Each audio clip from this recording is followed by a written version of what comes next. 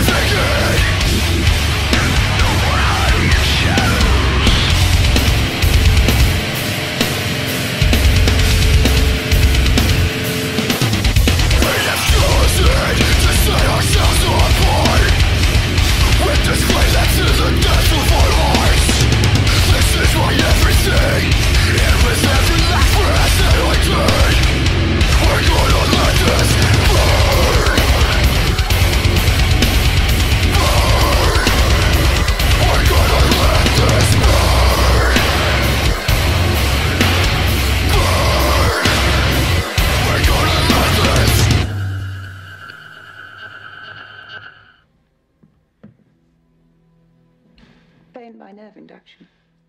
A human can resist any pain. Our test is crisis and observation.